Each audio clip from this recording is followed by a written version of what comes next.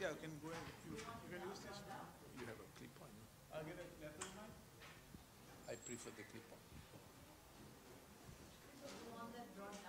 Yeah, better down.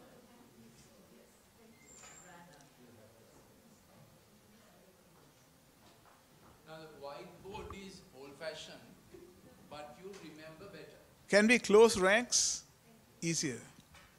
PowerPoint is very entertaining, but you will not remember thereafter. So I use both the PowerPoint and the whole method of writing down. Yes. You all should have this document in your hand. Aman, you get this. Yeah. So, there is a relatively new topic as far as the medical field goes. Because the effect of the digital screen, no matter what the program is, material is, was not known to the medical field until about two years ago. Now if you Google electronic cocaine, that's the term Harvard uses for the effect of the digital screen on the brain. Anyone have heard the term electronic cocaine? That's okay because medical academics have heard it for, for a long time and many will not know that. Digital heroin, have you heard of the term digital heroin? That's also okay because it's very current. But I just introduce you to the two terms because the effect is so obvious now as to what happens when someone is on the uh, digital screen for more than 25 minutes. Uh, when you get your docs, I'll refer to the documents and then the PowerPoint is ready. George will get the PowerPoint up there. That's my, that's my team. In Sri Lanka, this lecture is done in schools and the first school to get this done was that the greatest school in the whole world, we think. That's the I went to and Pastor Lucky went to and some of us here have gone to. I mean, there might be valid disagreements. Uh, so our college had this lecture for uh, primary school staff, uh, all school staff, then for Call B students, that is those who have just gone through the uh, year 11 public school examination, which is called GCE, and also for the annual general meeting for about 400 parents. But since then, all Colombo schools, St. Joseph's, St. Peter's, St. Bridget's, uh, ladies and international schools have had this program on. Also, I speak to corporates because uh, uh, I found that uh, parents who don't come when the school invites will come when the chairman invites. I, I suppose it's like that here also, isn't it? Uh, and then police have taken this on board as part of their training. So senior police officers as juniors come to our church auditorium. Then I have done this lecture for doctors as part of clinical society and for medical students as part of their curriculum, but it's a new lecture. Now, this is the topic, uh, right learning and digital health, curriculum, career, character choices. Why is that topic named like that? Because the digital effect affects the curricular uh, potential of the child, affect, it will affect their career and their character and how they make choices. Uh, we can move the slide, George. If you look at, can you get familiar with this doc? We call this the primary doc. Then there is a doc that will not be used. You can take it home for further reading. That's the eight page doc. You can put it away. Then you'll have a document with the brain that we will refer to soon. This doc is just a uh, awareness creator. You can keep it to read for yourself and give it to a friend. And there's a doc that you will fill up somewhere during this lecture. Okay? So we are on course now. Shall we read the printed word? Now, the printed white and black printing, reading of it gives best memory. And if you keep writing in two languages, four A4 docs, four A4 pages, in two languages, if you keep writing, you don't get Alzheimer. that is medical research, which means writing is so important. That's God's gift to mankind, isn't it? Writing. Now you may be aware that Americans have done away with cursives. You know, cursives are flowing hand. Americans have done away with cursives because children are so much on the screen and they can't get the flowing hand. Now, when the fingers get to doing the flowing hand, our brain becomes brilliant because this activity of fingers rounding up letters is the most brain track developing synapse making activity the brain knows. I repeat it, when you do your flowing hand properly, that is the activity that makes brain brilliant most. New synapses and brain plasticity, that is brain's renewability is renewed, more you do your handwriting. Now this is scientific fact. So now I have to tell you scientific fact because the millennials think that parents have come out of the Jurassic Park. that only dinosaurs are thinking of handwriting. Now this is not scientifically true. So I repeat, if you do handwriting in two languages, filling four A4 pages, you'll probably delay Alzheimer out of your lifetime. Similarly, if you keep your attention span for 40 to 45 minutes lifelong, which means you plan every 45 minutes to stick at one thing for that 45 minute period of time. So we tell students, do one thing for 45 minutes and take a five minute break for your Facebook, which is the old people's book, Instagram, Vine, Chat, Vimeo. What else is there, Abigail? Snapchat. Snapchat, of course. Uh, this is the, the millennial generation thing. So do your uh, schoolwork or whatever for 40 to 45 minutes uninterrupted. Then do some extracurricular distractions, but soon as possible you get back to what you have to do for 45 minutes. If you do that, also you don't get Alzheimer. Got the two points? Handwriting in two languages lifelong, fill up four A4 sheets, and then keep your attention span. Plan your day. So you teach your children also when they come after school at three or four, keep your 45 minute attention span. So every hour, your child knows what the child should be doing. For 45 minutes non-stop, then you have a bit of 15 minutes. I'll tell you the scientific background of that as we go on. So in our printed doc, we have right learning and digital health, curriculum, career, character choices, responding to inattention, impulsivity, hyperactivity. Did you see that?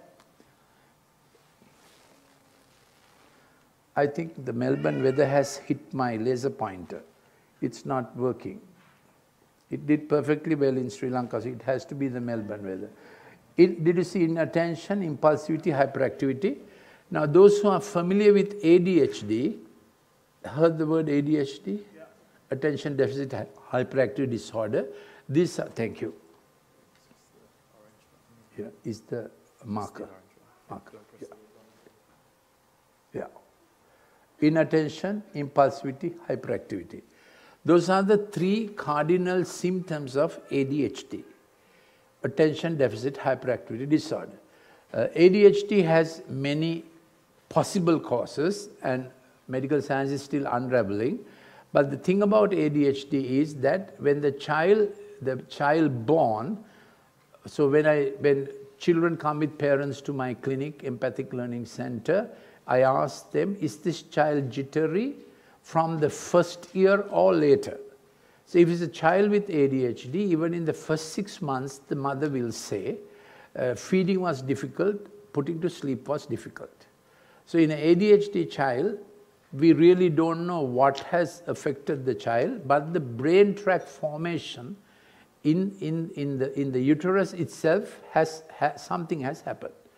And from our research, we can find, and other research, if the mother went through trouble, and if a mother had a hectic digital life. Now, this is not known till about two years ago.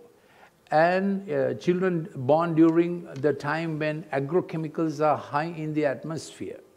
All these have been pointers to ADHD. I'm not talking about autism. About autism, I only know what medical textbooks know. But about ADHD and the dig digitalizing effect of the screen on the child's uh, brain, learning and youth behavior, maybe we have got to know quite a lot because of the research. So those are the parameters of what we are going to talk today. Inattention, impulsivity, hyperactivity are the three main symptoms of overexposure to the digital screen. Can I get a wave on that? So the children will look as if they have ADHD. So if you take them to a usual practitioner, they will put the child on methylphenidate, that is Ritalin, or one of the drugs usually given to ADHD. So one major thrust of my research is to prevent practitioners prescribing drugs to children who already have a chemical imbalance in their brain because of the overexposure to the digital screen. Did you understand that? So any doctors here? Yeah. yeah.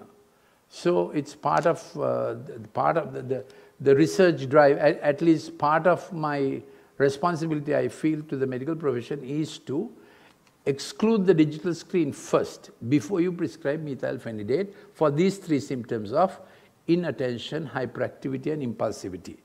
Inattention anyone can understand. At the age of three, a child should have an attention span of about 10 to 15 minutes. What does a child do at the age of three? What do you encourage the child to do? The child wakes up, the doll wakes up, and the doll has to go to school. So the doll has a breakfast and goes to school. What is the doll's school? Your daughter should always have a table by the age of three, little table. There's a chair on this side, chair on that side, and, dot, uh, and the doll goes to school. And in that school, who's the teacher? Daughter is the teacher. So the daughter teaches the child whatever the child, he knows, she knows, she teaches the doll, and school is over in about 10 to 15 minutes because that's her attention span. Then the doll comes home and daughter comes home and, uh, and you give milk and you give lunch and, and doll, doll, doll goes to sleep. So that's how you develop the attention span of a three-year-old child. All of brain brilliance depends on the attention span and focus you developed in the first three years. Nobody is born brilliant, you're trained brilliant. Can I get a copy each of my books? Amma. Nobody is born brilliant, you're trained brilliant. Books, there are other books. No, other books. Now, you are born with the IQ potential, but unless you develop it, your brilliance will not come out.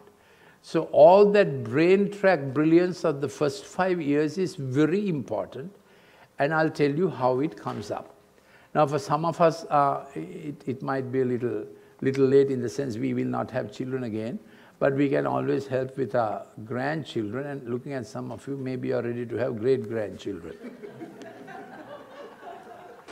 so, so it's useful information all the time. So I have called it recovering childhood, relearn, retrain, remanage, developing empathic rem remedial procedures. Maybe we will look at the slides now. Let's, I can move the slides, isn't it? Uh, so the whole lecture is very long and uh, a lot of technical details are involved. So today we will not go that technical, thank you. So this is that book of mine, Parenting Heart and Brain in an Age of Digital Domination, Train brilliant. Will tell your neighbor, train brilliant. Yeah, that's the way to go. There's a next.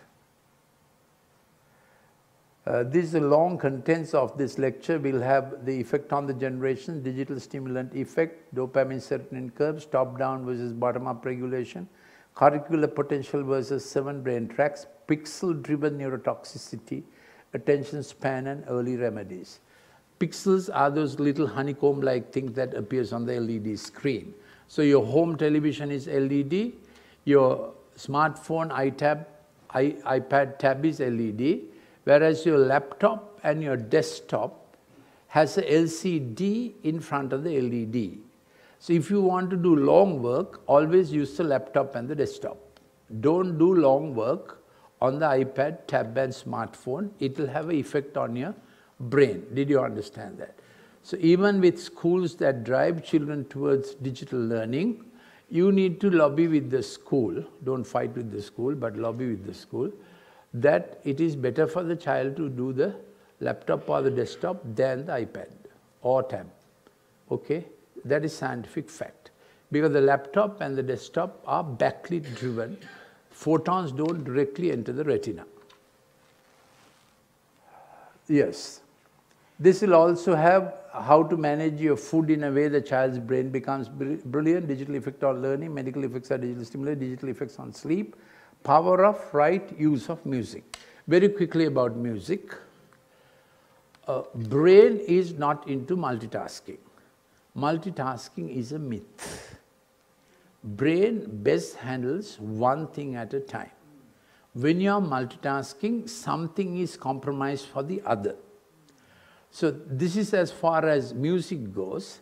If music gets you to be kinesthetic, which means rhythm driven, music doesn't act like a language. Let me backtrack a little. Classical music where lyrics wrap around the notes and the notes wrap around the music, uh, the lyrics, act like a language on the temporal lobe. So if you are singing Amazing Grace, where John Newton created it, it works like language on your brain, which is good. Okay? But if you want to do Amazing Grace, how sweet the sound that saved a wretch like me, you lose the language effect of the hymn. You may still have the inspirational effect depending on whether you're millennial, Y gen, I gen, X gen, or before that. It depends. But music acts as a language when every note of music hugs the lyrics and the lyrics hug the musical notations, which is classical music. Are you listening? We have many children now, many students now, have their earphones plugged and they say, we study better when we have music in the ear. Actually what they are doing is, they sit with the book longer when they have music in their ear. That doesn't mean they are learning better. That's scientific fact. Any music that drives you to keep the kinesthesia, the rhythm, will work against language. That is scientific fact. You will learn it when we come to the seven tracks of the brain, empathic, intuitive, empathic, relational, linguistic, managerial, kinesthetic, acoustic, visual. It doesn't need, it's not rocket science for you to understand one track overdriven will subjugate the other tracks or inhibit the other tracks. So if the music is causing the child to have an inside dance and is wiring up the kinesthesia in the brain, you will not remember the study material. Did you understand that? Yeah. You can Google the Mozart effect of music on studies. M-O is it, that's old Mozart. I hope I got his pronunciation right. M-O-Z-A-R-T. Yeah. A-R-T, yeah.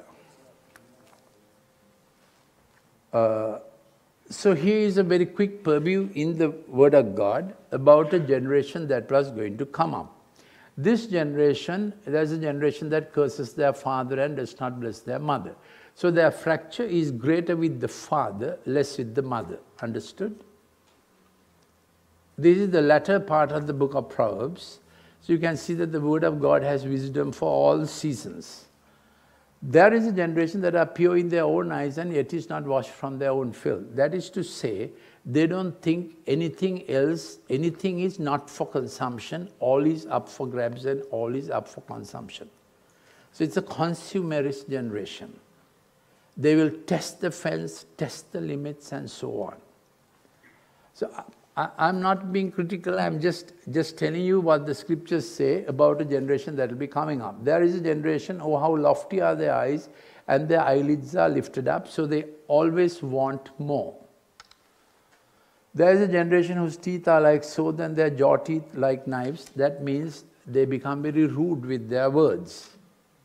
I may suggest to you that this is the effect of the digital screen, particularly the cartoons they see, you will soon see with my next graphics that this has a scientific or a neurochemical, neuronal basis why children become like this.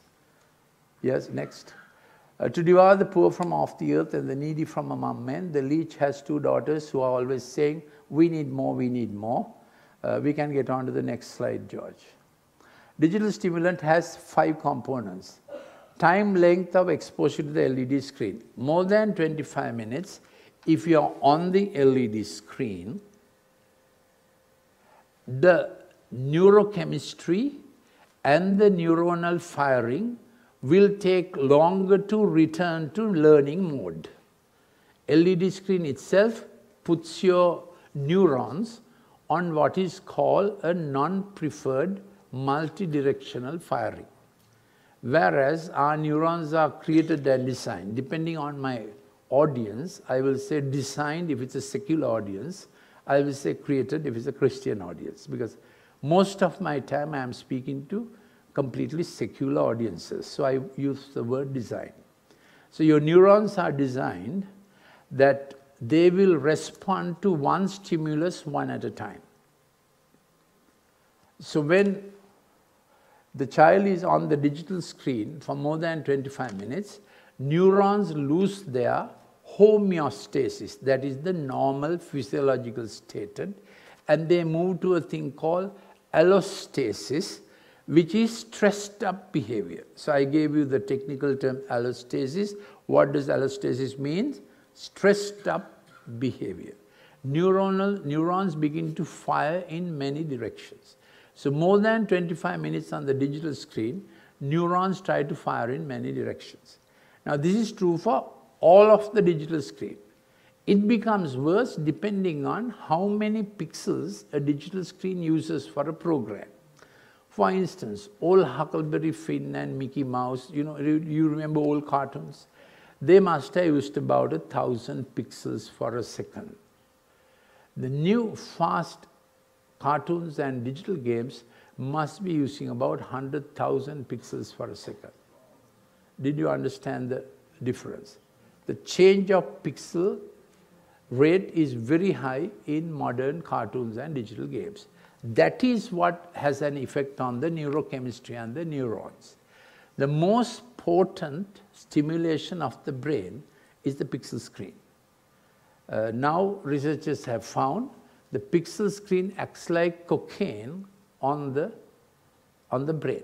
That's why it is called electronic cocaine. So Harvard in their academic articles will call this electronic cocaine. You can Google it. If you Google electric, electronic cocaine, you will come across it. I will explain pharmacologically exactly what it is. Now, by the way, my last academic post was head of Department of Pharmacology in the medical faculty. So in a sense, this research is related to my last academic post. I'm not a pediatrician. I'm not trained in pediatric medicine. I was trained in adult medicine. But because the children were getting jittery and there was a neuropharmacological effect on the brain, it came under the kind of research I was used to doing. My earlier research was on epilepsy, Parkinsonism, migraine, uh, serotonin-based diseases, so some of my research is still on Medline. My normal name is, my, my name now known as Lalith Mendis, but my research appears under BLJ Mendis. That bit I told you because some of what I am telling you, you will not found on, find in the internet because there is groundbreaking research. So you need to know from ba what background I am telling you this to get you to understand that I am not talking off my hat. This is well-founded research. It is also up on the website of the Ceylon College of General Practitioners. If you are a medical person, This document is also for you. You can have one. This is a refereed medical article. You can have it before you go. Yeah. Uh, so that my popular lecture is based on proper academic data. All right. We will go like this for another 35 minutes. Then we have time to fill up a form which is in your hand. And then you have to write down a question even now. You can write down the question on the paper that is provided, which you are supposed to hand back over to me. There's a paper like this. Please write down your question.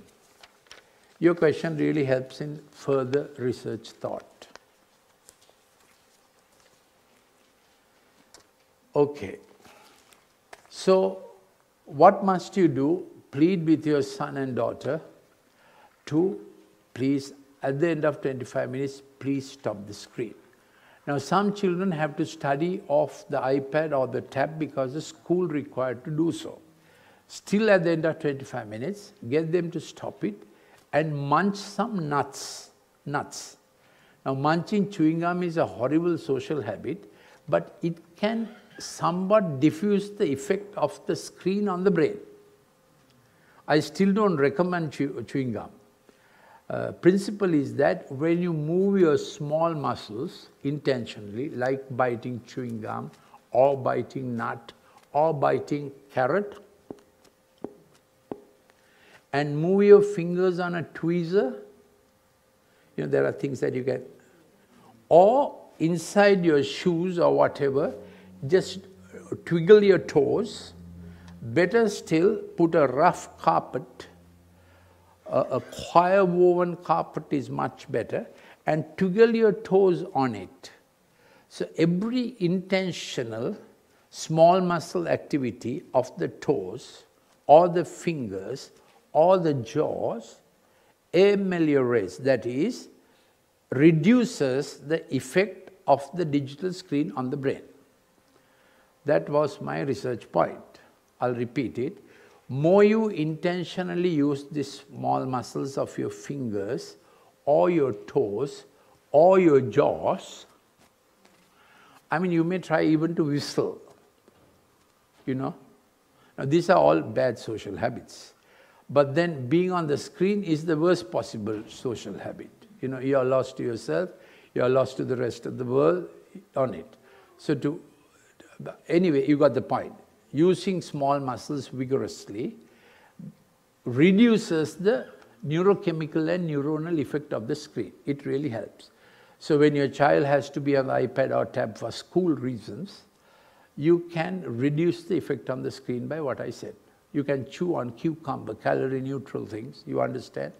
So these things we have to innovate. This is what our Empathic Learning Center do, does. Uh, because so many children come to us completely digitalized. Completely digitalized. Seven-year-old children, eight-year-old children, fighting with parents. They are all, uh, screaming off their heads. There's another reason, I'll get to that systematically, but I'll put the points as they come on the 25-minute thing. When a child, uh, before the age of six, children learn by rote and by memory. So you give the child a digital screen and songs out of the digital screen, imagining e-learning makes brain brilliant, which is a myth. It's a myth as bad as coconut oil is bad. What's the relevance? Every 10 years, medical world, the pharmaceutical world and the market has to develop a myth in order to earn money. So coconut oil was bad, isn't it? Terrible, wasn't it? Now, it's straight from heaven, which clearly makes Sri Lanka the most heavenly country because we export so much of coconut. Can you see how the market goes? So you, you, you, have to, you have to understand we have intentionally and unintentionally become guinea pigs of the market. Digital screen made the child the target of the market, which is the immorality. We choose to eat and drink what we want, adults. But the screen is thrust upon the child by the parents. That child has no human rights, no understand to defend its brain, defend its curricular potential. Parent makes the child a prisoner of the screen.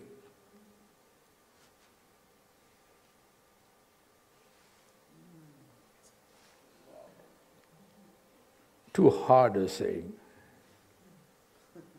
Too hard to say. Actually, in Sri Lanka, in my language, I say it far more forcefully. Yeah. Uh, so think about it. So all I'm saying is, uh, by the time the child has become five, on the screen, now he has learned many things by rote, by memory. That is possible only up to the age of six.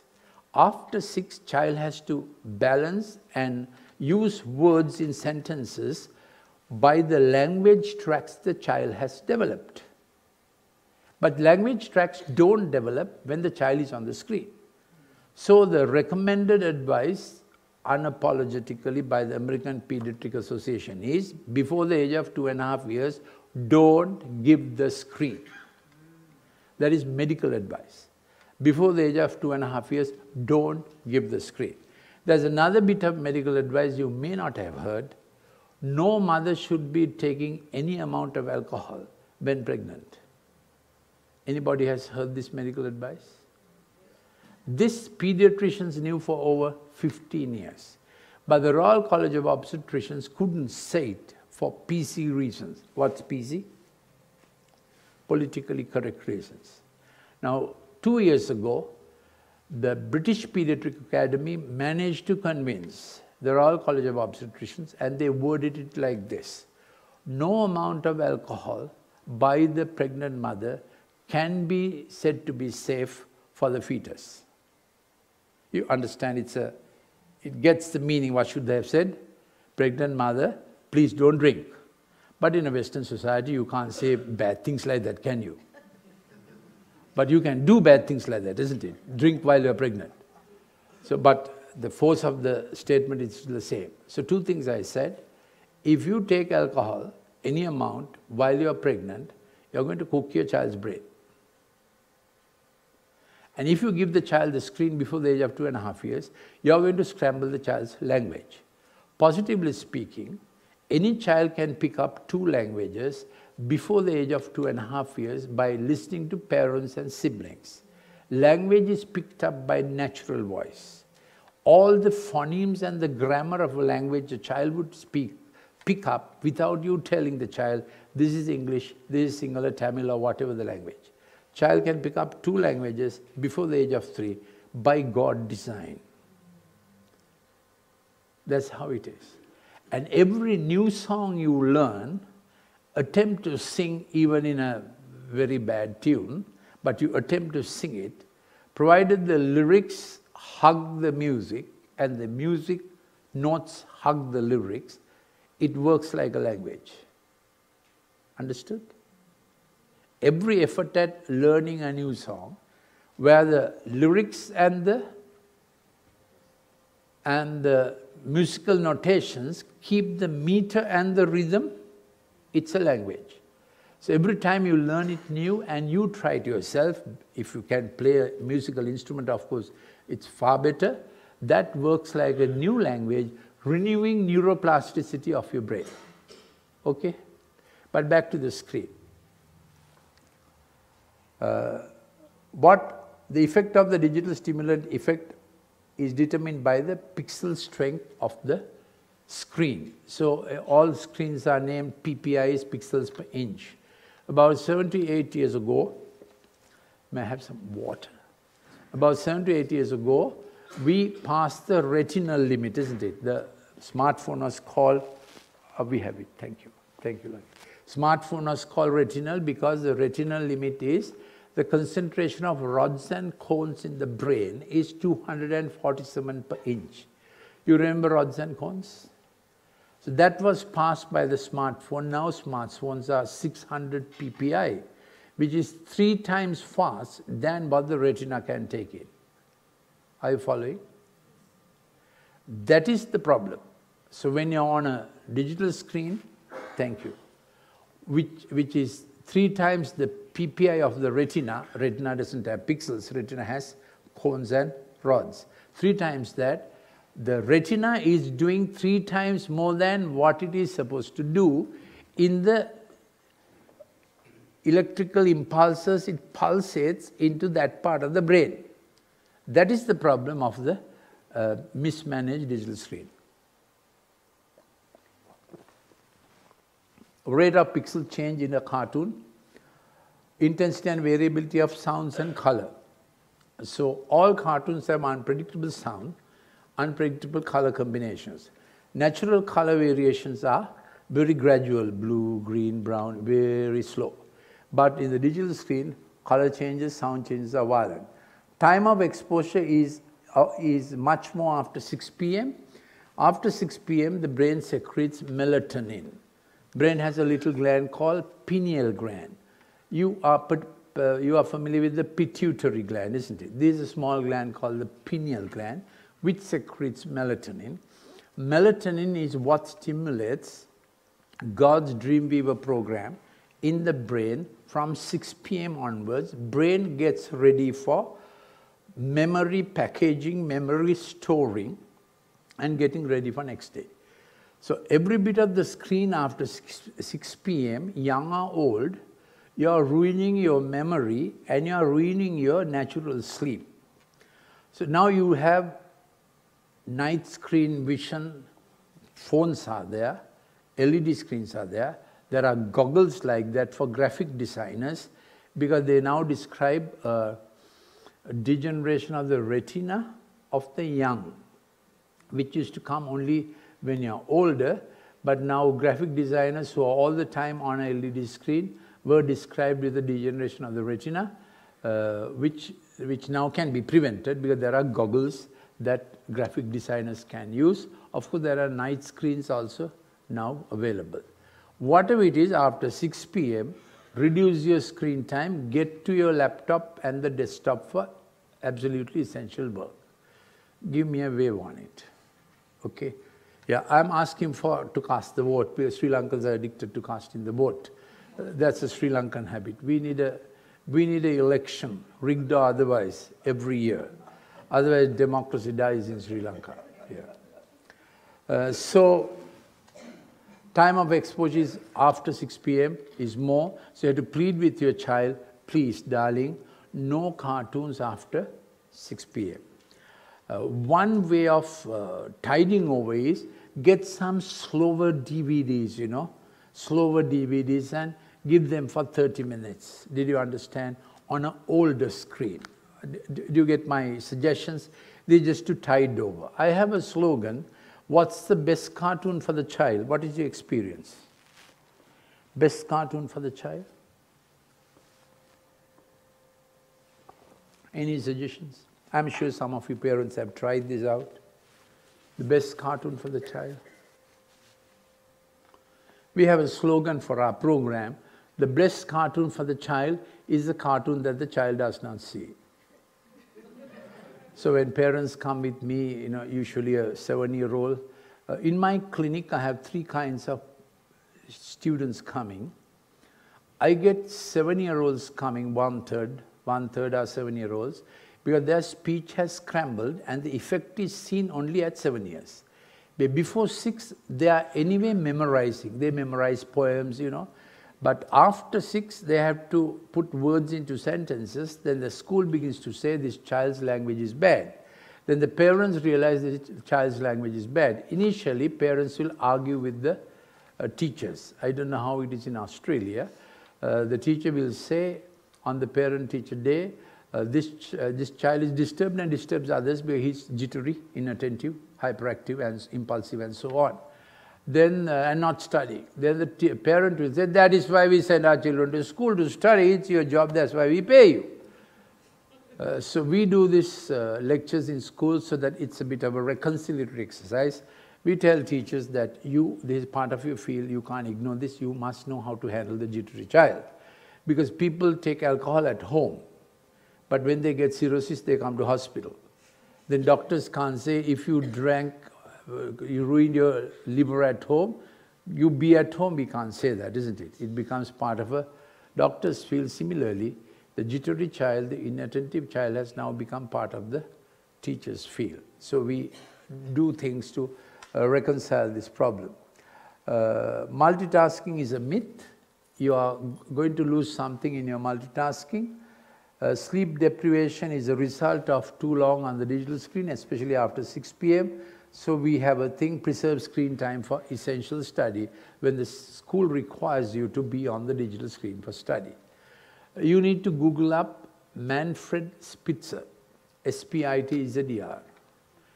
He was a pioneering neuropsychiatrist, still alive, German, Manfred Spitzer, S-P-I-T-Z-E-R. I really should have his name on this slide. Uh, he said long ago, before the age of 12, don't give the child the screen for study. Don't give the child the screen for study before the age of 12. That advice is still valid, but most schools have digitalized. So we have to take precautionary measures. But you know that great school I told you about? about a year ago, uh, one of the old boys who's the head of a big uh, digital company in Sri Lanka, a telecom company, offered the school free tabs for every class. Soon after I had done the lecture, uh, then the warden asked me, what do I do? I said, you have heard the lecture. Then the warden asked me, uh, will you tell him? I said, that's not my business. Uh, he uh, opted to not have tabs in the school. So our school has gone non-digitalized. Wise school, isn't it? Yes. Next slide. This is a neuron. Every neuron functions at one, uh, it's through receptors. One neuron is connected to the other neuron through receptors. So every neuron has, at the end of the neuron, a receptor which functions through a neurochemical. What you have heard would be adrenaline, noradrenaline, isn't it? In the conceptualizing tracks, the most important neurochemical transmitters are dopamine and serotonin. You might have heard of serotonin as the happy hormone. It is not a hormone, it's a neurochemical transmitter. Uh, next one. This uh, graphic is out of my research, it's an important graphic. Can you all see this or is this obstructing your view? You can see it, huh? Yeah. Now this is how we think. When we sit down to think through, salience, thinking through to focus, comes through dopamine. Word salience means in English language you say get to the salient point, that is salience. So when we sit down to think through, study through, even read a newspaper through, dopamine keeps working to the desired conclusion, do it till the end is what dopamine says. So that's focus and salience. Then when dopamine has done that for 45 minutes, serotonin takes over, serotonin tracks increase, to give you satiety. Satiety is, speaks like this, did I get it right? Did I understand that? I should do it again. Uh, maybe I should uh, check that out. I didn't understand that. And then collation and connection goes on. What you studied is related to that part of that section. And you, at the end of 45 minutes, you want, this you will unthinkingly do. If you are reading a book or a newspaper, you will sit back and say, mm, understood that, mm. and it is always better to put down notes with your own handwriting. All CEOs of all large conglomerates the world over get up in the morning and they write down on a scribble pad, fingers and pencil or paper, what they will do. Because you think better when you write. You think better when you write. This is why every husband should be writing love letters at every age. You love better when you write. You think better when you write, and then they put it down to the digital equipment after that. So all planning is better when you write. When you see the seven tracks, you will understand why. The relationship between writing and thinking. It's not rocket science, isn't it? You can even now understand why writing and thinking will do better than looking at the screen and trying to collate and connect. So all steps of the learning procedure suffers because of the screen.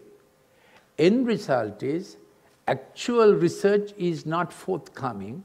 Computers can't do research. Human brain has to do research until AI comes. When artificial intelligence come, we don't know what it will be. Recently there was a seminar in London by Professor John Lennox, Dr. White and others. I have the link to it on AI and, and the challenge to the church. Uh, it's, so if you do artificial intelligence part plus John Lennox, John Lennox is professor of mathematics. You, you would have read his apologetics and so on. Excellent. He, he has many, many books. Each, every book you should be reading. John Lennox. But recent seminar was on artificial intelligence. But till artificial intelligence comes, this is the best mode of thought God has for us. When you write, you think better. Okay? So this is how we work, think, think, think or do, do, do for 40 minutes. And after that, we will think it out with self-check. So child learns self-check of what he did by this default mode network of thought. When the child is on the screen, dopamine doesn't come down, dopamine goes up and up and up. What does the screen do to dopamine? It will be saying, next thing, next thing, some more, some more. Do you understand the effect of the digital screen now? Child does not self-check, does not think back. It becomes a character issue. Are you following? This is the curve that I often use. As I told you, young fellows come under the age of seven, mainly with speech problems, all learning difficulties. Some learning difficulties are not related to screen activity, they were there from birth. But we still do the activities of the Empathic Learning Center because those activities help learning issues. You have acalculia, you can't recognize numbers, agraphia, you can't recognize uh, uh, shapes, different, different things. Uh, they are helped. Speech is helped when they do small muscle activity. Very simply, when they do sculpture and pottery with actual clay, earth clay, is better than plasticine. Creole is also good. So we get them to create things with their fingers. We instruct parents to get tutors to do sculpture. What's the principle? The flexible, tensile activity of fingers on clay helps speech. Where you'll realize this is a kind of language writing. Did you realize this? This is a kind of language writing. That's how it reverses the effect of digitalization and it improves brain tracks. Uh, I will do a separate slide on it, empathic methodologies.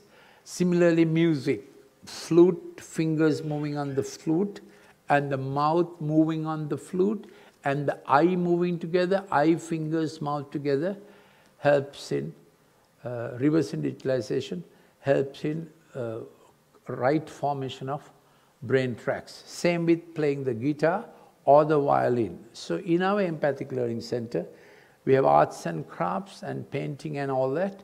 Also, every Friday we have music training simply to get children out of digitalization. So we do it for 90 minutes. So in that 90 minute course, the child gets an awareness, everything is not digital. He, he, he sort of sees another world his brain gets a detox for 90 minutes. It's not enough, but it's a beginning. Did you understand that? This is how empathic learning therapy goes. Empathic learning therapy is not our innovation. It was recommended and the term was coined by Dr. Daniel Amen. Now he's Jewish, that's why the Amen, the Amen here. Uh, that's how his name is. You can refer him up, Dr. Daniel Amen. Yes. This is that curve. Uh, to get back self-check for children is important, otherwise they'll begin to attempt things that they shouldn't be attempting. That takes us to the next graphic and then a question answer time and a brain oxygenating time. You have done well listening so far. This is a new topic, uh, tough topic, but you're absorbing. Yeah. Thank you. Let's take a breather. This again a graphic research research uh, graphic from my research.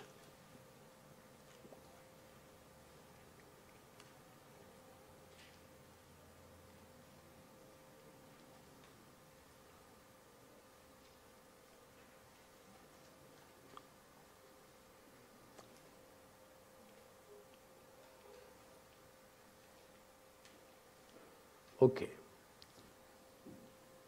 This is, these are the two regulatory pathways available. PFC is prefrontal cortex, that is the thinking part of our brain, conceptualizing part. This is the cortex. So the front, this is the frontal cortex.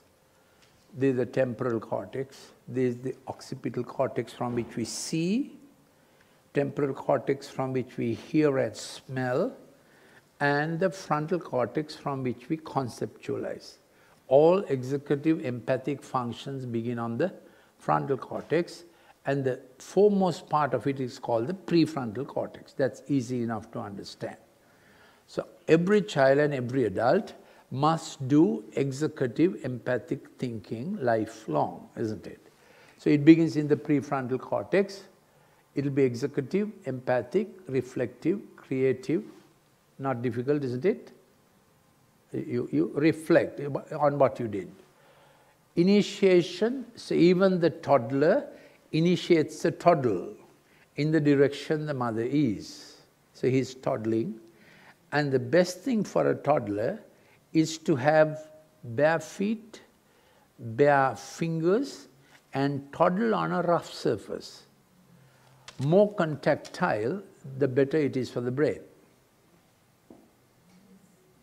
More, more the fingers touch rough surface with friction, better it is for the brain. And he's toddling along, usually in the direction of mother or in the direction of interest.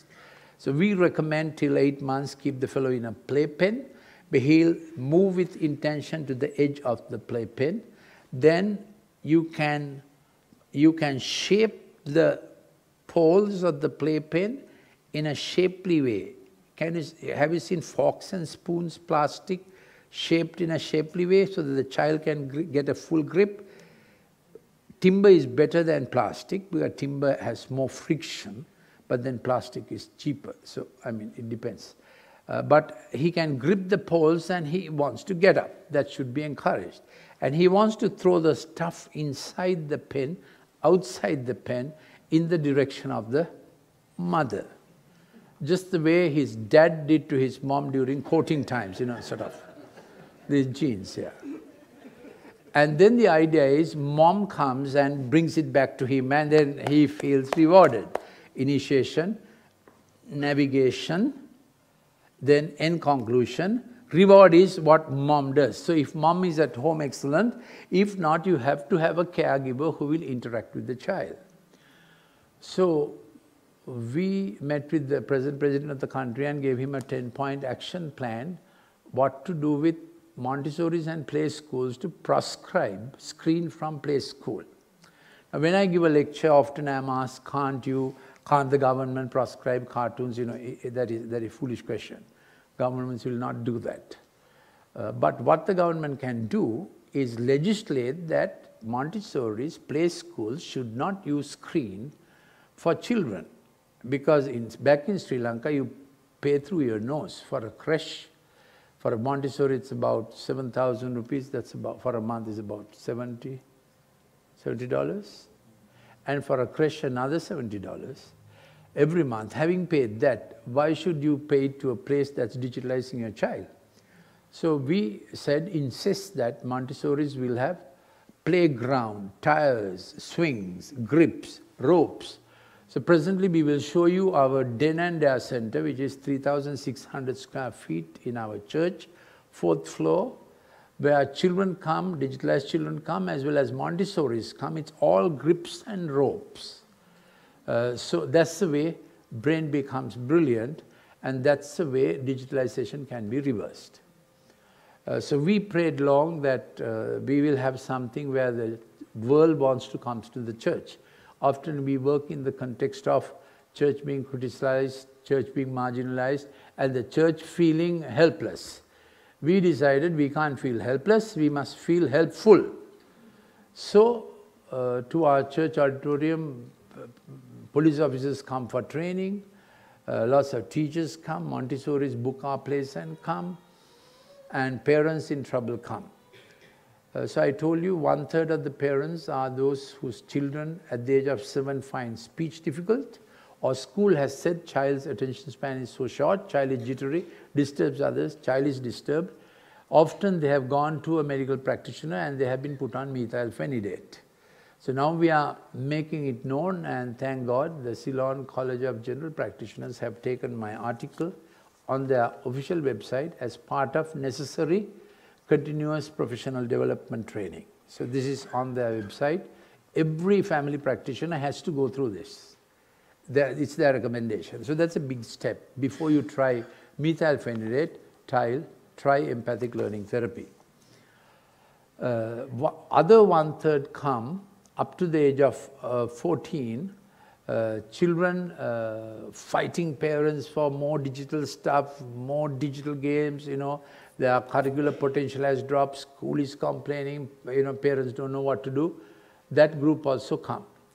Then after the age of 14, uh, those who come are completely digitalized.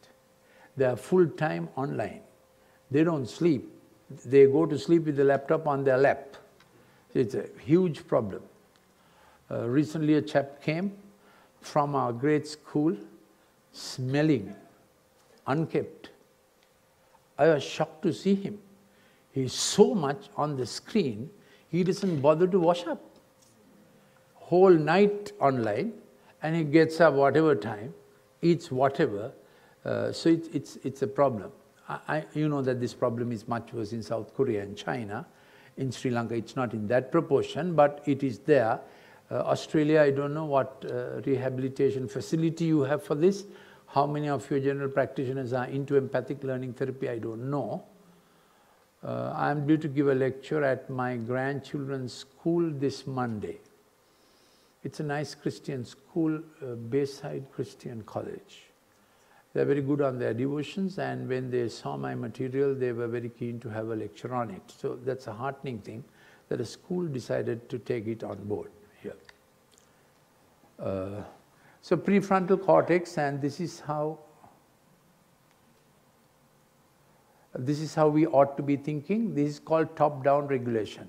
You understood the initiation, navigation and conclusion reward is the attention cycle with which a child should grow.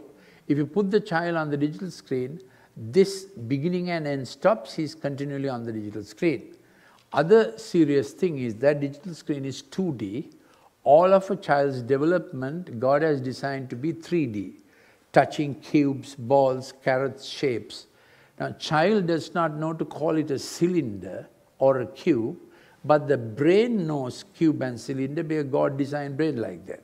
So children are meant to develop touching 3D, seeing 3D. So the brain tract development becomes 3D, that is 2 into the power 3. You put the child on the screen, it's a flat screen, two-dimensional. You reduce the brain tract development by 50%. 2 into the power 2 is 4. Who will do this to the child? Who does this to the child? The parent. The parent. Yeah. This is the point at which grandparents begin to cry. Yeah. So my best friends are grandparents. Most of my books are bought by grandparents. But in the corporate arranges a lecture, lots of young parents are there. And they understand. Then they want to come and see me uh, I must tell you, if the audience was largely 40 year olds, I will be far more scientific, far more detailed, and less rhetoric. You understand that, isn't it? But most of you don't look like 40, so, so I, have, I have taken liberties. But uh, with the 40 year olds, you have to be more, more technical, yeah, more technical. Okay, that's other side is it's important to understand what this is. Can you see this fully or is this obstructing your view? You can see. If the child is on the digital screen, This is the track the child will get into. It's called bottom-up regulation. What is that? The screen is smart, child becomes stupid. because all the kinesthesia screen begins. Acoustic screen begins. Visual screen begins. Child has a robotic response to the digital screen. Yes or no? Yes, the child interacts, but who begins the interaction? Screen. Every digital game, who begins the next thing? Screen. Child is only responding. Correct? Then the child gets into bottom-up regulation. Child begins to respond to what's coming from outside.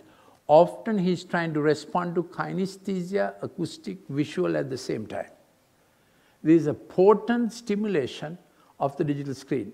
Nothing on earth gives kinesthesia, acoustic, visual at the same time like the screen. It's a very potent, addictive stimulation. That's why the digital screen is addictive. Sad thing is, most people begin, begin addiction by choice. Nicotine, pornography, gambling, heroin, cocaine, by choice. But children are put into addiction by parents. So if the church does not take this as a mission, you're being unfaithful to the rights and, and destinies God has for children.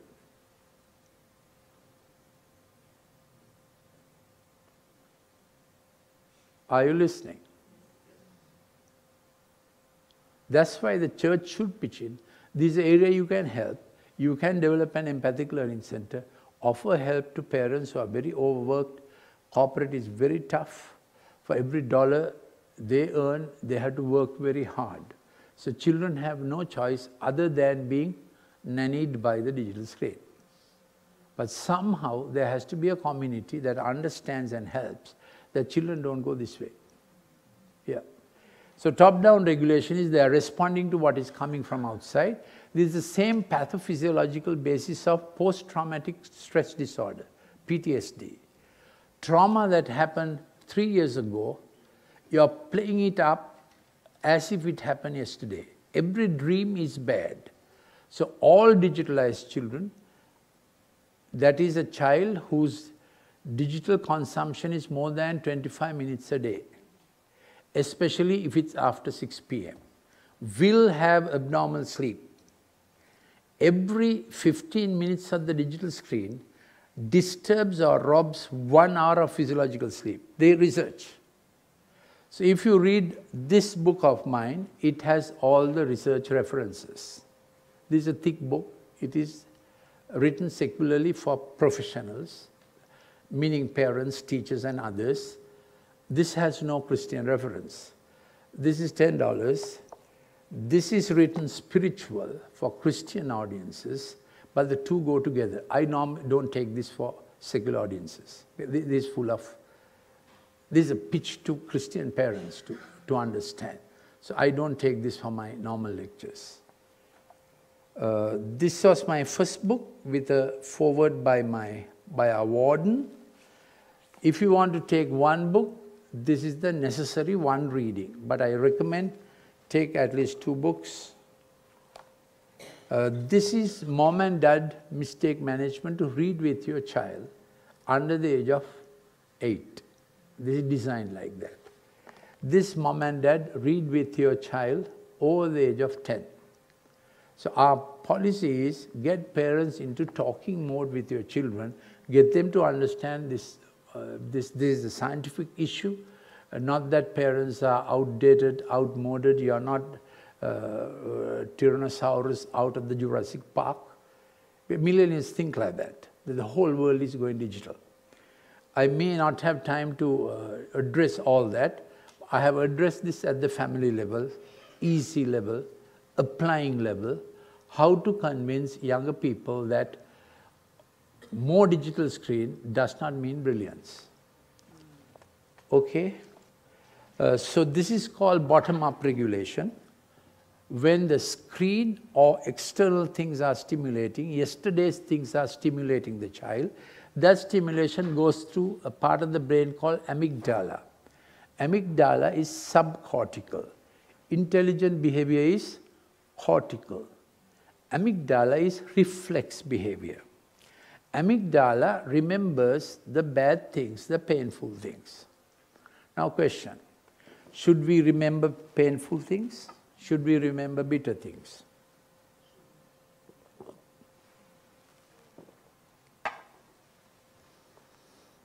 Okay, here you went to a eating place and you got E. coli diarrhea, terrible abdominal cramps. Should you remember the place? Obviously, yes, to avoid the place. But you can also have a projection that every chicken burger will have E. coli. You get the problem with the amygdala. Amygdala, remember, God created the amygdala. It's actually the shape of the gallbladder, but it's very tiny. It's a, it's, it's a, it's, it's, um, it's, it's, it's even smaller than a pea. Very small. It remembers all the bad memories and, are, and, and is connected to the hippocampus and the hypothalamus. Problem is when the child is on the digital screen, child is always stimulated from the last thing to go to the next thing, last thing to go to the next thing. This is the effect of the digital screen. That's why it is called bottom-up regulation.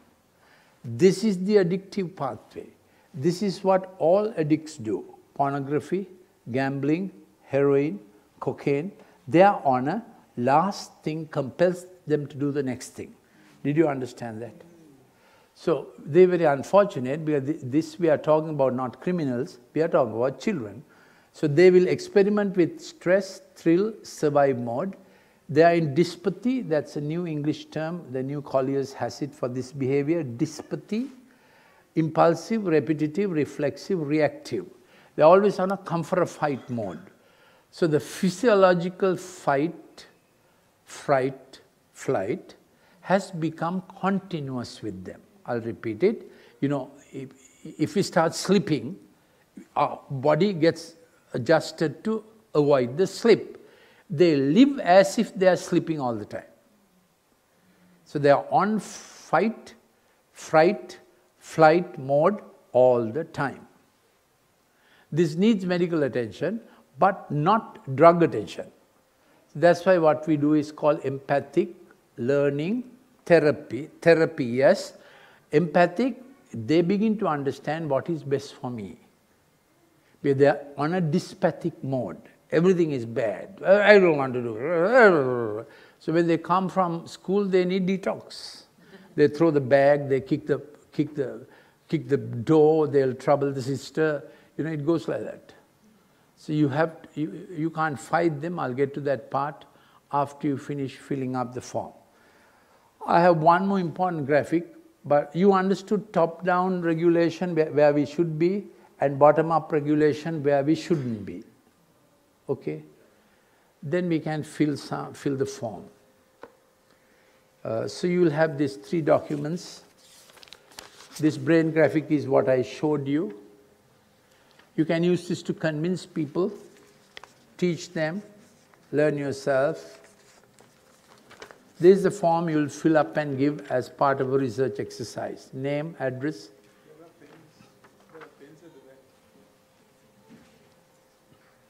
Telephone, email,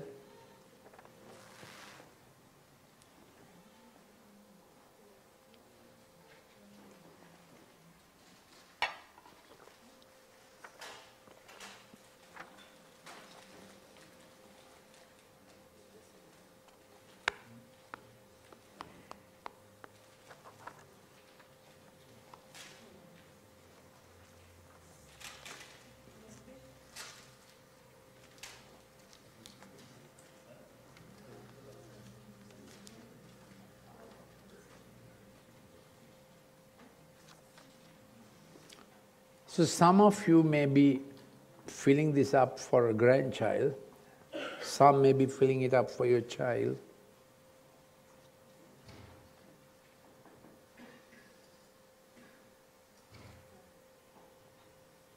I have no problem with my children's digital behavior, age of child of concern, my child's TV time. TV screen also is an LED screen. So every bit of screen activity adds together for a commuted effect. Smartphone time, what is your concern? How did the school handle? What age was child exposed to cartoons? That determines the severity of the effect. Cartoon time for a day,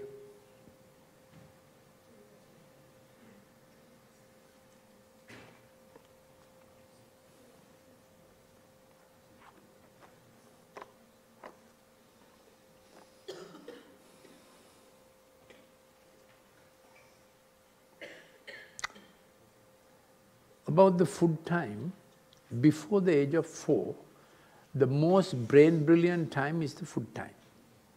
That's the time that the child's brain absorbs most. Child is touching food, child is trying to take food to the mouth, child is smelling food, child is touching shape. It's a heart bonding time. So I advise young parents, do your best to be present at breakfast and dinner even if you are a working mom or working dad. Because food time you must make maximum use. Never give the screen at food time. Never. What you do at food time becomes a lifelong habit. All good habits, prayer, gentle Jesus, meek and mild, teach at food time. Food time is the most brain responsive time. So do the best at food time. Never give the screen at food time. Now this becomes a humongous task if you have already got the child addicted at food time to give the screen. Do your best to get him off, get him off the screen at food time. Uh, digital effect is more on the testosterone brain. So in our research we found let's say about 30 minutes of the screen on a boy, the same digitalizing effect to come for a girl, it takes about one hour. But once the digitalizing effect comes on the girl, she's dopamine depleted for a longer time. So they tend to get into more destructive behaviors like cutting themselves, uh, more because they find dopamine is depleted and to get the same thrill effect, they have to do other things. That's when the cutting comes. Are you familiar with the subject or not? Self-mutilatory behavior comes with dopamine depleted uh, kids who have to now invoke or evoke endorphin systems to get the same sense of comfort. So that's how the pathopharmacology works. Whereas appliances like a, a blue whale and so on suggest suicide. So that's a different thing. You have heard of blue whale? Yeah, blue whale is an app which on the 13th step says cut a whale shape on your hand and keep trying more risky things such as climbing to the topmost windowsill of your house and put your legs out and it ends up by suggesting suicide on the 50th step. Uh, seven have committed suicide like that in Colombo. Uh, so, but, but that is more directed. What others do is when they are dopamine depleted, they, they get into self-mutilation. I have had cases coming like that to me. Uh, because they, they are invoking another neurochemical system to get the same thrill because they have come to the end of their digital screen thrills.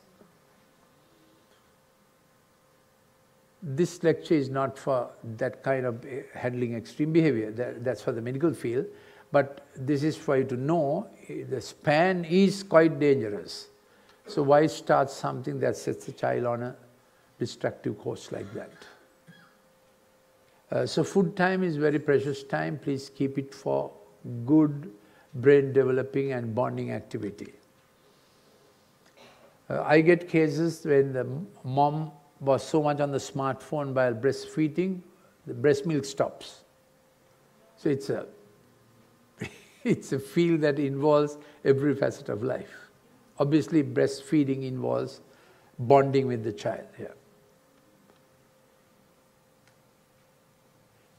Have you finished uh, filling up the form? I have one more graphic. I don't know how many gigabytes are there in your brain to absorb.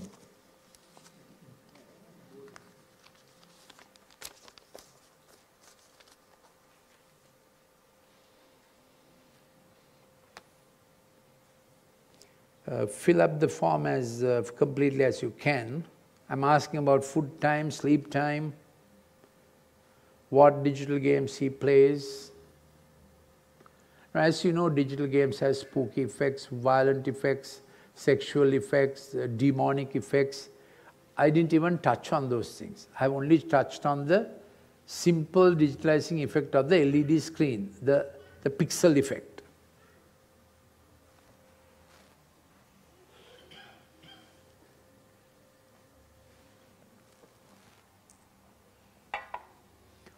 I have a friend in Essen, Germany, he's a pastor. He's also a computer expert, he has two sons. All their screen activity is linked to his computer. So he has negotiated with his sons that that's how the screen will be handled. So I don't know whether Australian parents are that bold or that intelligent, I don't know what the problem is whether you will take up, but he negotiated with his sons, they are now 16 and 14. Uh, he, he's a physics graduate and a computer expert, he's a pastor also. So that's how he negotiated with his sons. These are some, I mean, things I have learned from what has happened in different, different sections. You're writing down a question and you can ask a question also off the floor something I didn't clarify properly, you, you felt it was not argued out well, it helps me if you ask me questions.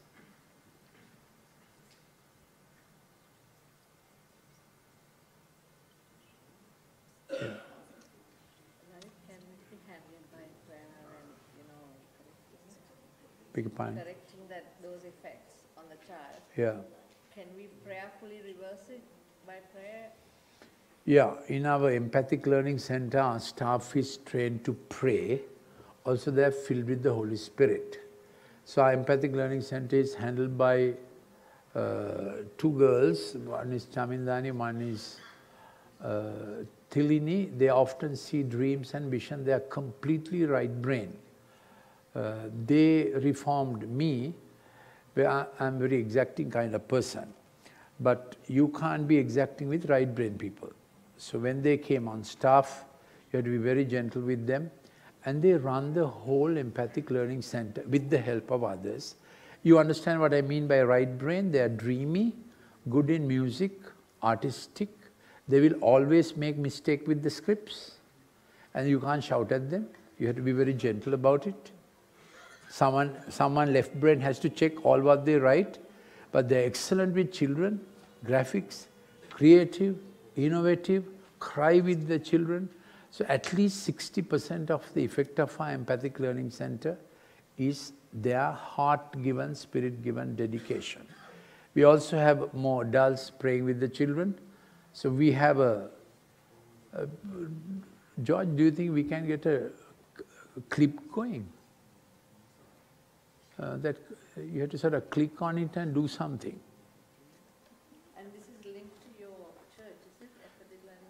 Yeah, so when they come, they get referred by schools, fellow doctors, others who have come. I don't ask them whether they know what it is. So I sit in my section in my room, it looks like a clinic. It has a lot of material and so on. My room has a sand, a sand tray for children to play with and a lot of children's stuff. Uh, some children come very hyperactive a mother to hold a child for five minutes is so difficult. They are born ADHD. We work with them also.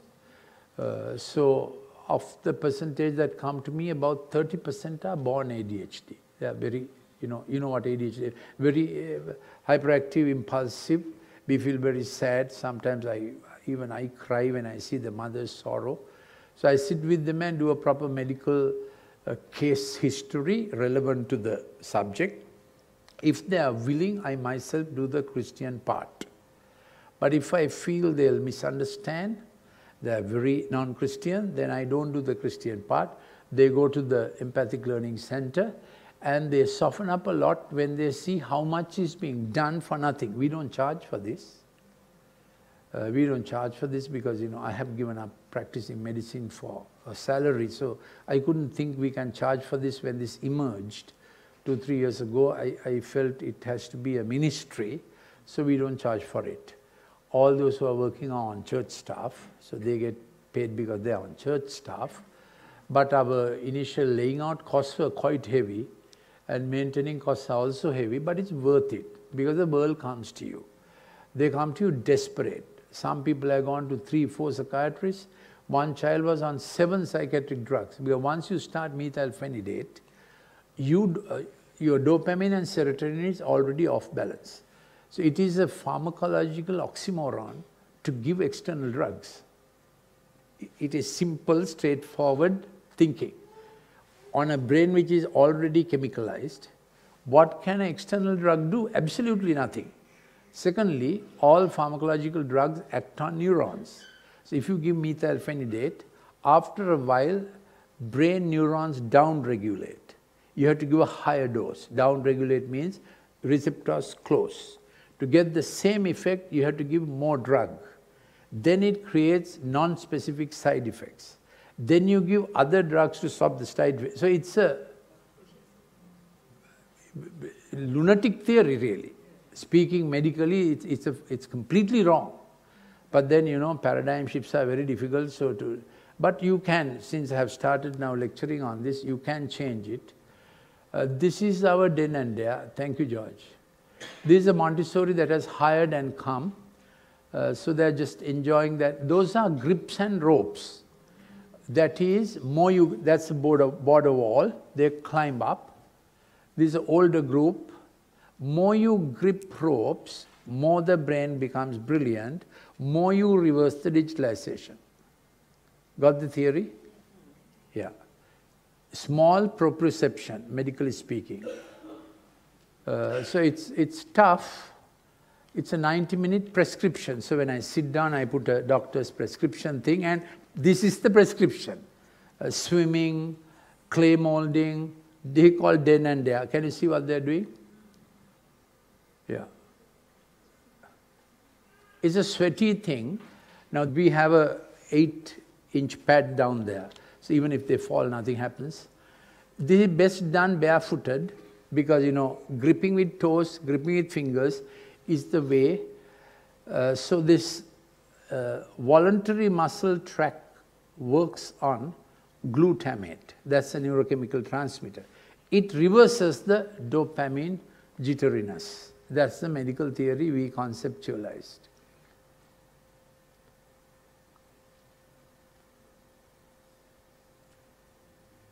Not in an adult is addicted.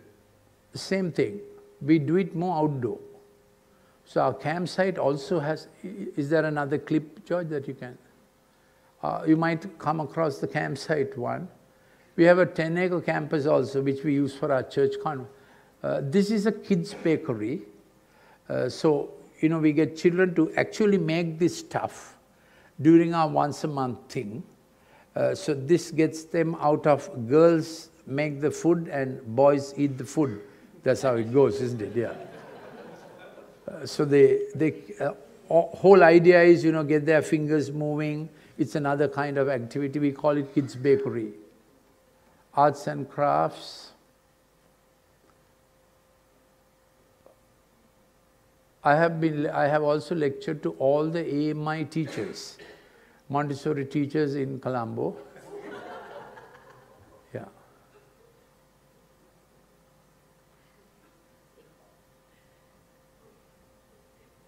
So this is a kids' bakery uh, in action. This bakery happens only once a month, but the arts, crafts, den and dare happens every week.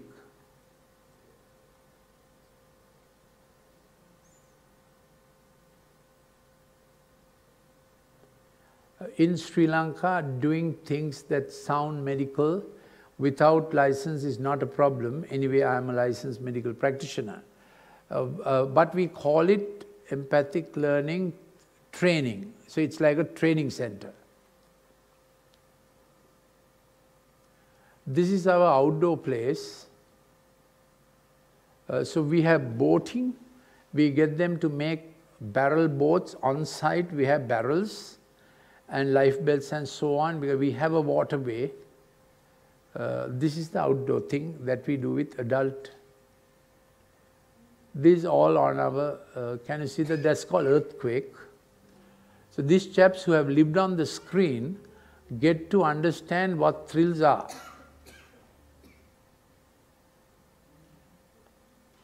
So he is one more reason to come to Sri Lanka.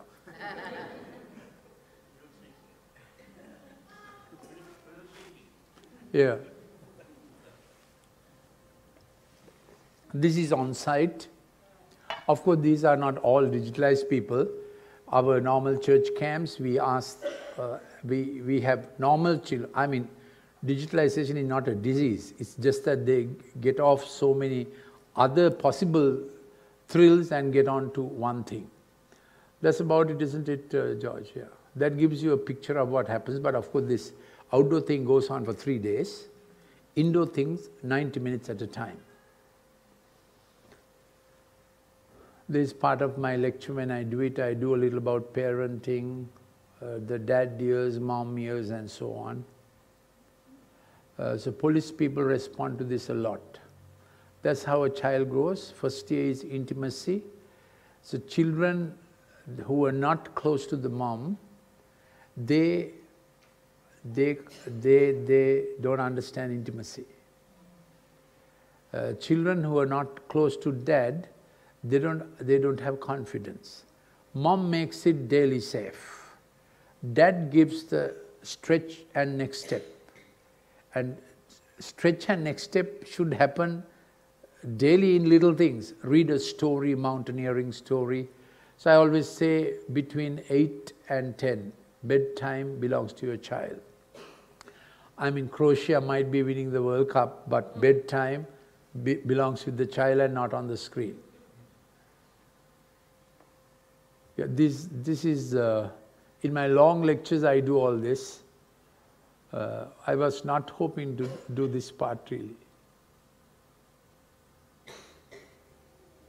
Yes, uh, questions?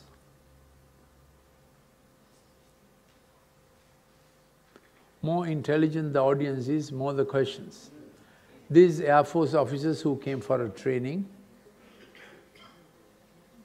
So would you say that our generation didn't have any of these problems because we didn't have the screen and you see a remarkable change? Uh, actually, it's uh, the cartoons and digital games have really got hold of now see Y-Gen, the world adapted to Y-Gen.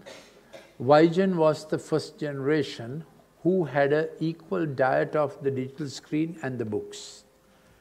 Uh, so Y-Gen was the first generation that got their, uh, I, I need to show this before, uh, I'll show the last graphic, George, then, then the questions can be better answered from a better understanding uh, I think you have to go, uh, there's a graphic with seven tracks. This is a long lecture. Actually, it's at least a half a day thing. Yeah. Uh, George, there's a brain with seven tracks, maybe earlier, soon after the double curve. That's one. Now, uh, understanding this, you can, everybody can see this.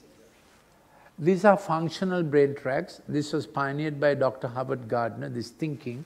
It's very useful. So the first track is empathic intuitive. How do I feel about myself? Second track, empathic relational. How do I feel about others? So some children are inward thinkers, they are quiet. They want to think things through inside. No teacher or parent should say, now stand up and talk. Why are you not coming out? Your relatives have come. Bad manners. They're like that. You must not speak to children like that. They are quiet. inward thinking children. Now you will understand that you had a child like that. Don't shout at them. They are quiet, inward thinkers.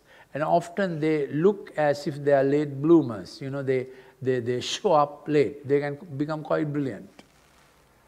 Uh, empathic relational pe people who are strong in this, they are going out, outgoing and talking and you know, they love to talk. Uh, then the next track is linguistic. I told you already before the age of uh, two and a half years, never give the screen, never give the screen. You will scramble that child's speech. Before the age of three, a child can pick up phonemes and grammar structure of two languages without you telling the child what the language is. Child will speak English properly and the vernacular properly. You can't teach three languages, only two. Okay? Don't try to teach three languages, only two. Uh, so that's the linguistic track. Again, there are children who are very verbose and they get their answers while they are talking. You must not tell such a child, shut up and listen. They can't shut up and listen. They listen while talking. Then there are other children who are very quiet. Now, you, a teacher can't tell them, get up and say this. They, they can't get up and say this. But they are quiet. They are quietly learning. They are not verbose, isn't it? Some children are very economical with words. Some people have a verbal diarrhea. And if most of them end up in parliament, we do have a problem. then there is a logical learning managing track. Children must be put to this while they are toddlers. That's why we give them cubes, building blocks. Uh, Lego is okay, better than the screen, but Lego also can be addictive because it has only one directional movement.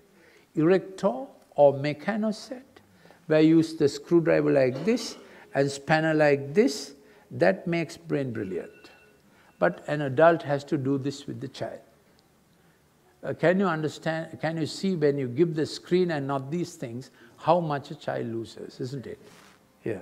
So in our empathic learning center, we do all this. So parents see it, and then parents take a decision, must go home and do better, and we give them packs to take home and do.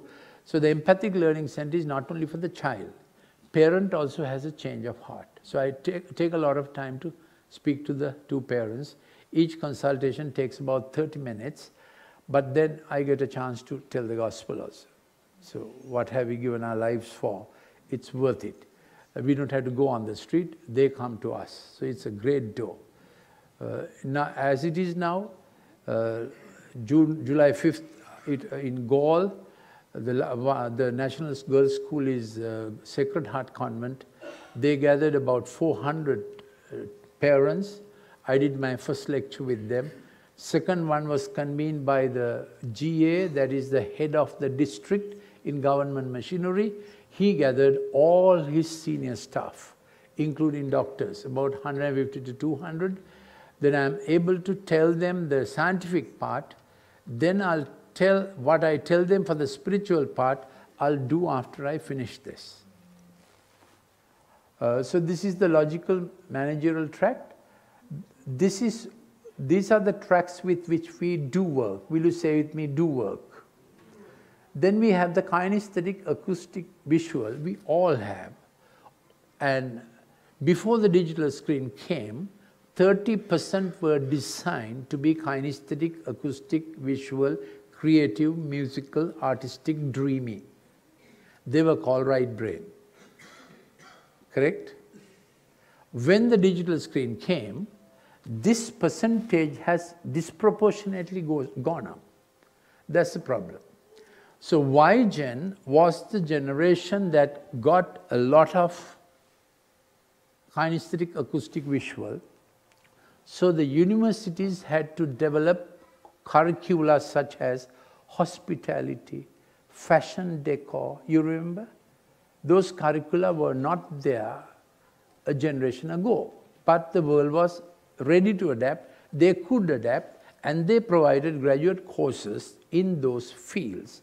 So the digital effect on Y-Gen was accommodated into the work field. Give me a wave if you understood this. After that, when the digital consumption increased, You got the iGen, the Z generation. Now they think the, there's only the screen. Then if you ask them, they, what do you hope to do? They'll say, I want to become a games engineer.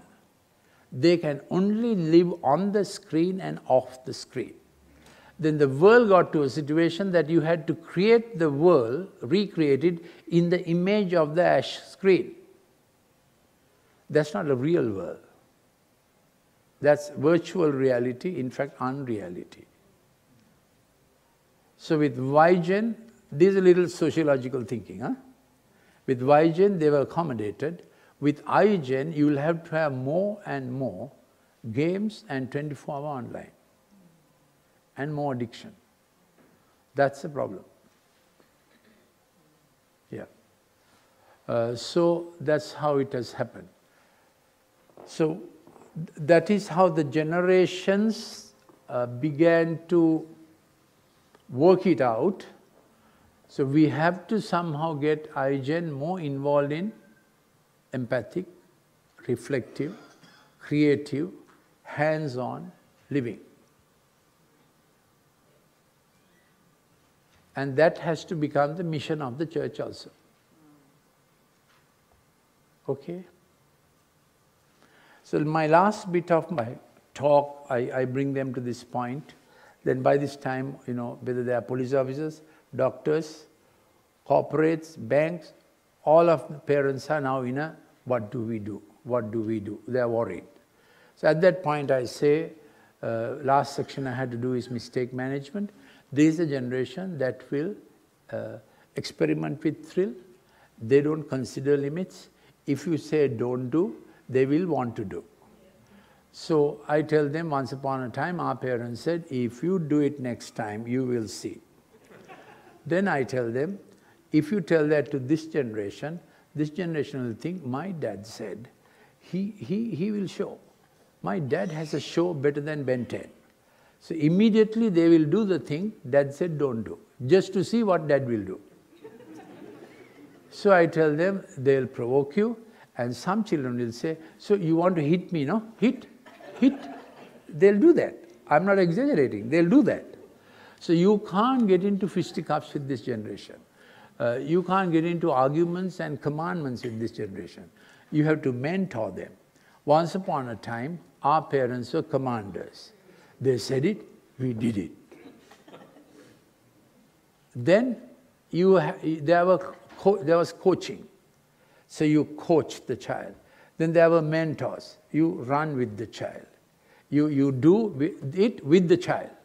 Now you have to become a painter and a poet and you have to go along drawing life with them on their life canvas, suggesting what paintbrushes, what stroke, what colors best makes life. Big change.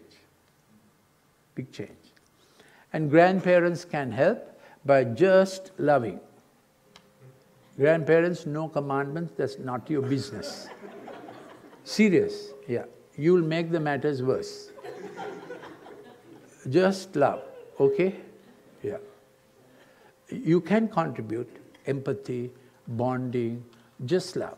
Make it easy for the 40 year old generation, you know, to get a salary hike of 10%.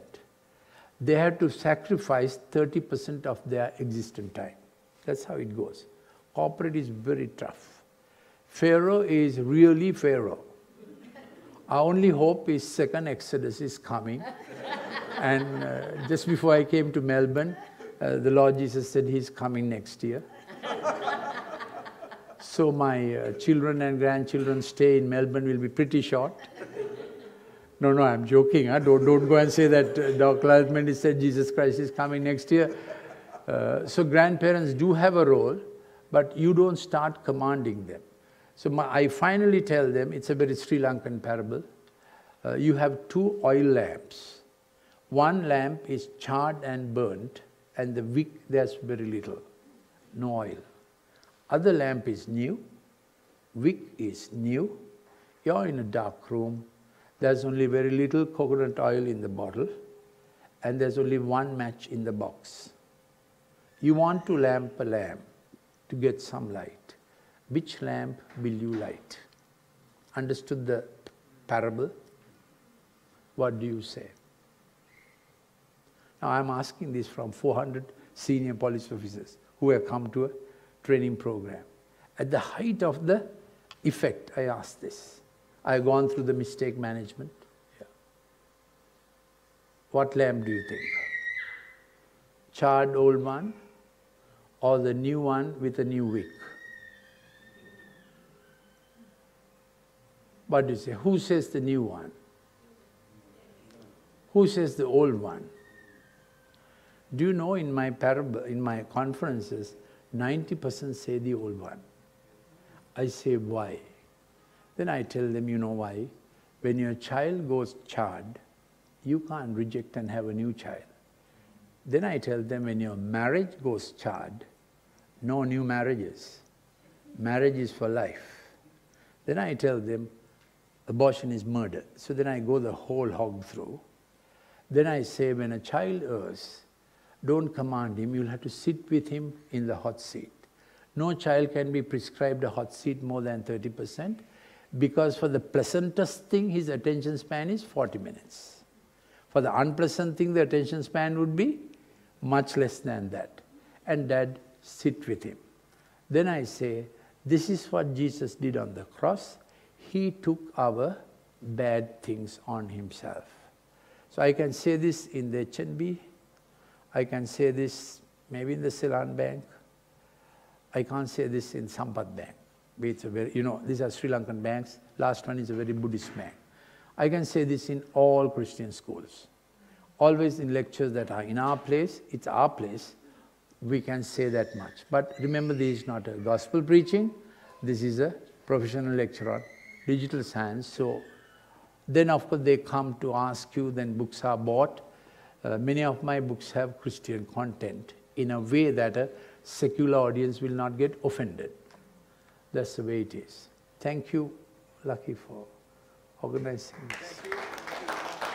Please take a book home. Two thicker books, the smaller ones are $5. Buy one to give a friend. If you'd like to be kept informed of uh, Dr. Lalith's uh, Please return the document. Document they can return, what they feel. Yeah, the document can be given back. You can leave it on the desk. And if you'd like to be placed on his uh, mailing list, there is a sheet there. Stay in touch with Dr. Lalith Mendis, and uh, then he you can have access to his emails and he has a blog and